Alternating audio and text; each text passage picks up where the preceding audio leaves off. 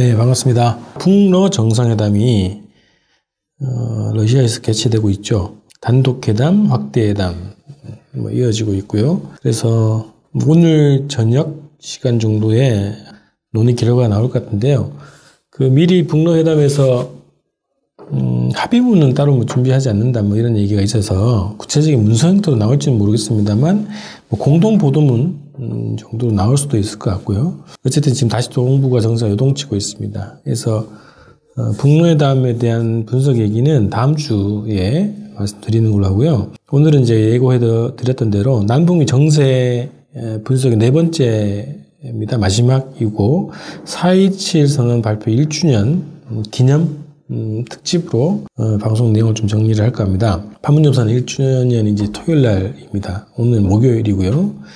그래서 1주년이 다가오는데 지금 남북 관계는 멈춰서 있다고 봐야 되겠죠. 멈춰선 것만 아니라 다시 후퇴 조짐이 좀 보인다. 한미 간의 합동 군사 훈련이 명칭만 바뀌고 경우만 조정을 해서 공격진 훈련이 계속되고 있는 상황에서 음, 11개월 만인가요? 북의 조평통에서 남측 정부를 비판하는 성명이 이제 발표됐다고 합니다.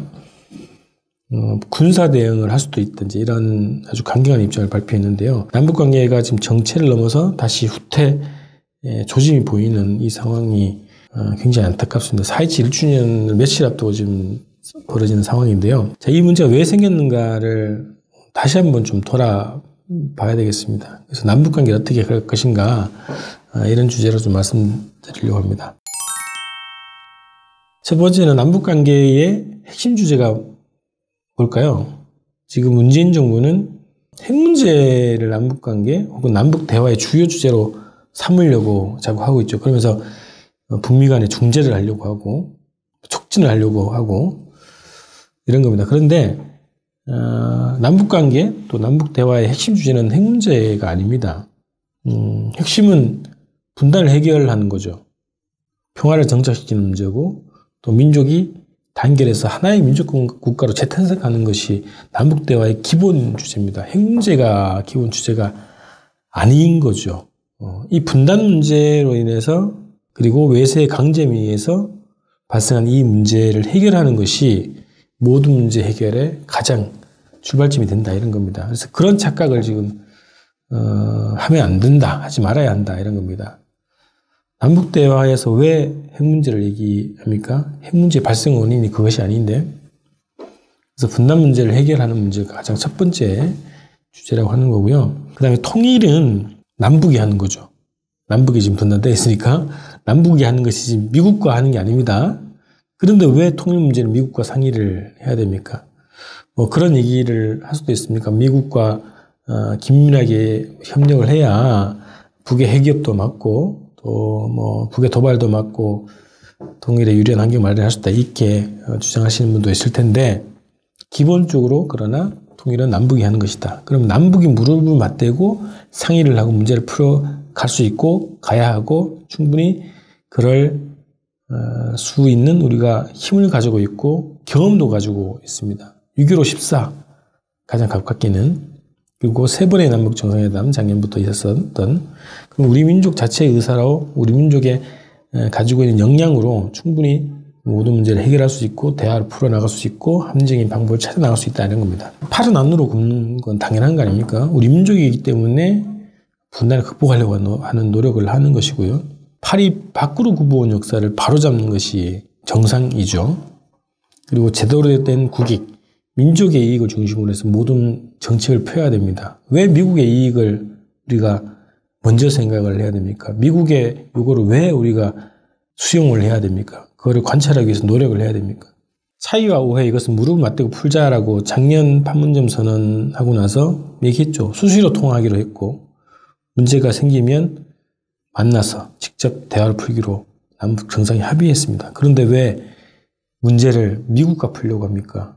무릎, 미국과 무릎을 맞댈 이유가 없어요. 미국은 자체의 이익을 가지고 정책을 펴는 나라, 그것도 제국주의 패권 국가 아닙니까?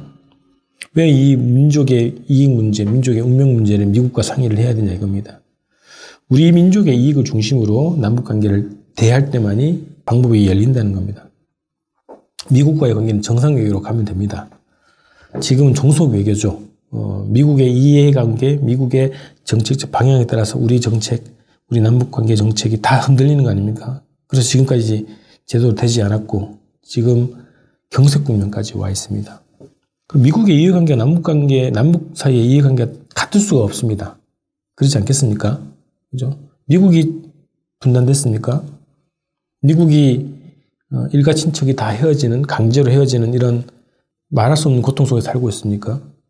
이산가족의 고통을 미국이 겪고 있습니까? 항시적인 전쟁 위협에 불안에 떨어야 하는 상황이 아니죠, 미국은. 우리 민족은 그렇지 않습니다.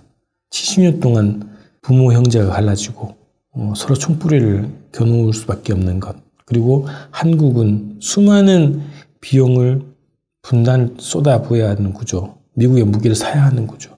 무역 관계에서 어, 일방적인 손해를 봐야 되는 구조.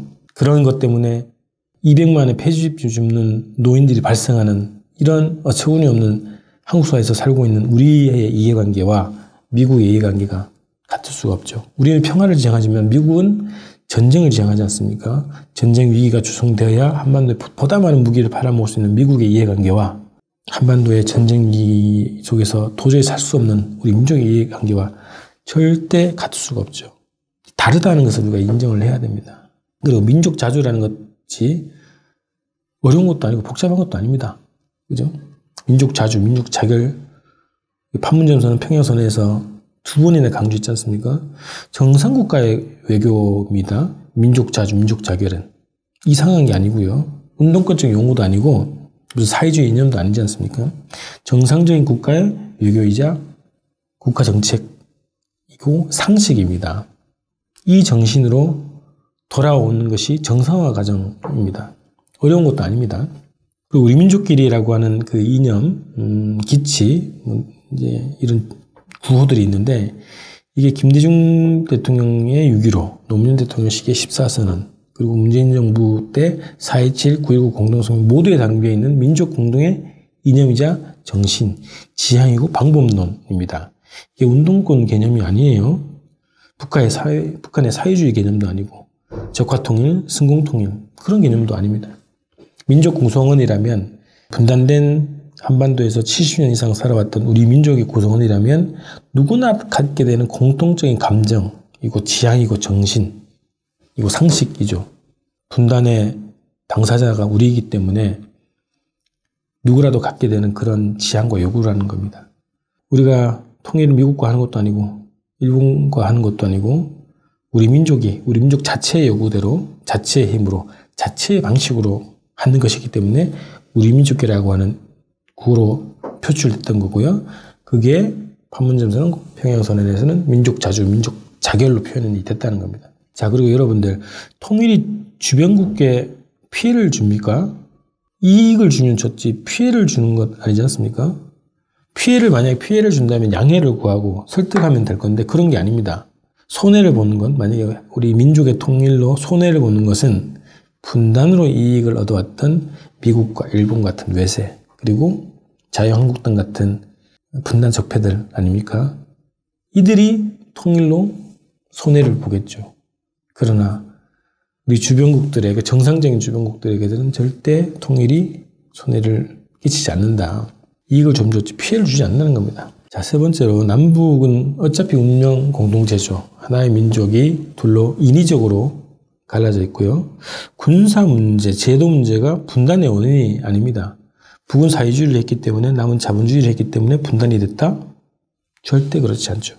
그것이 원인이 아닙니다. 오히려 분단이 군사 문제, 제도 문제와 같은 대결과 갈등을 불러온 것입니다.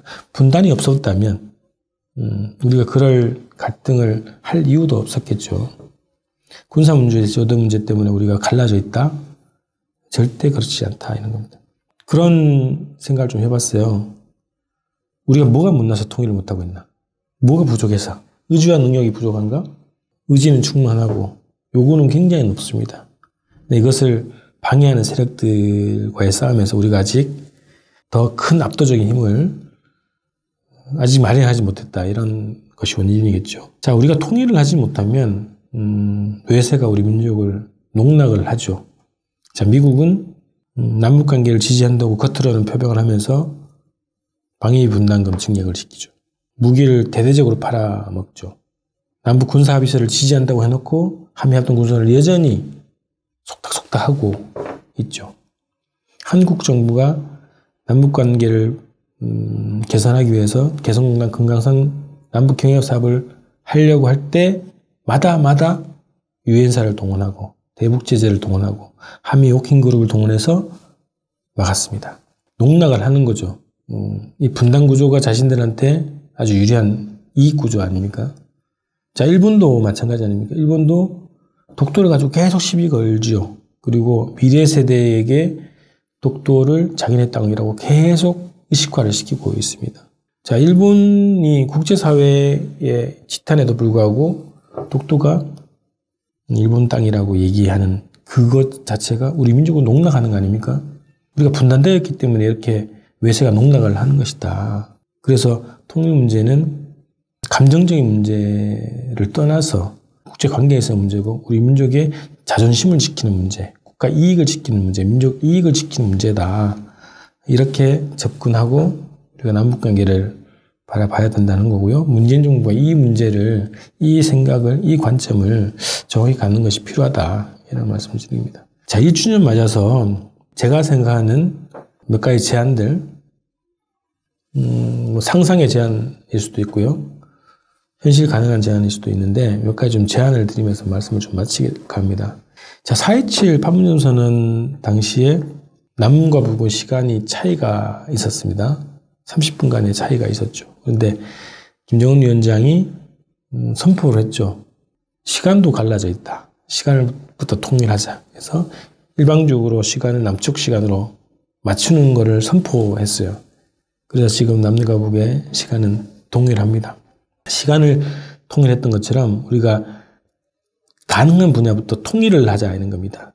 전반적인 제도 통일 음, 이런 문제는 좀 더 시간이 필요할 수도 있겠죠. 근데 가능한 것부터 아예 통일을 시켜버리자는 겁니다. 선언으로 결정으로 곧바로 효과를 얻을 수 있는 여러 가지 어, 주제들이 있을 것 같습니다. 그래서 시간을 통일한 것처럼 우선 저는 구호를 통일했으면 좋겠어요. 구호 통일. 음, 예를 들면 이런 거죠. 유엔 제재, 유엔의 대북 제재를 해제하라. 남북이 공동으로 구호로 요구하자는 겁니다. 국제사회에다 대고. 이제 남북이 서로 협력하고 교류하고 왕래하면 대상 한반도에선 전쟁이 없다. 이미 우리는 사이치선에서 선언했겠죠. 했죠. 그래서 남북 경협 사업, 개성공단 금강산을 비롯한 남북 경협 사업을 활발하게 벌이는 것이 한반도의 평화를 구조화시키는 것이다. 그래서 유엔 제재의 목적에 전적으로 부합한다. 그래서 이제 유엔 제재는 남북 경협 사업을 막을 것이 아니라 적극 조장해주고 권장해주고 보장해 주어야 한다. 그러기 위해서라도 유엔 제재를 해제하라. 이것이 남북 공동의 구호로 하자는 거죠. 자, 그 다음에 뭐 4.17, 6.15, 9.19, 뭐 이런 민족 공동의 경사나라 아닙니까? 14 포함해서요. 이 공동 기념일을 통일을 시키자 이겁니다. 남과 북이 같이 음, 기념일로 만드는 거죠. 공휴일로 해도 되고요. 아니면 뭐 국가 기념일로 공식적인 어, 국가 기념일로 양 음, 측이 음, 공통의 기념일로 선포를 하는 겁니다. 공동 기념일을 통일하자 이런 겁니다. 자 단어 통일도 좀 있습니다. 음, 오징어와 낙지 많이 얘기 들으셨을 텐데요. 남쪽에서 부르는 오징어를 북쪽에서 낙지라 부르고 어, 남쪽에서 낙지라고 부르는 것을 북에서는 오징어라 불러요. 뭐가 정답이 있겠습니까? 뭐 없죠. 이게 통일하자 이런 겁니다. 오징어, 낙지 같은 생물을 가지고 이름이 다른 거예요. 그래서 이거 통일 합의해서 통일하면 되는 거 아닙니까? 단어 통일을 하자 이런 얘기입니다. 자 동무라는 것도 우리가 음, 아주 정감 있는 넷말이죠. 지금 잘 쓰지 않지만 뭐 어깨 동무도 있고 동무라는 얘기는 북쪽에서 일상으로 쓰고 있죠. 우리는 그 단어를 거의 쓰지 않지만 이것도 통일해도 좋겠습니다. 동무 이거 다시 남쪽에서는 복원을 해야 되겠죠. 이런 단어 통일을 해보자 이런 겁니다. 그 다음에 유엔 의석도 통일해보자 이런 겁니다. 남과 북이 이제 더 이상 어, 두개 국가로 국제 무대에 나가서 티격태격하는 모습 보이지 말고 유엔 의석을 통일을 하자는 겁니다. 그래서 순번제로 할 수 있겠죠.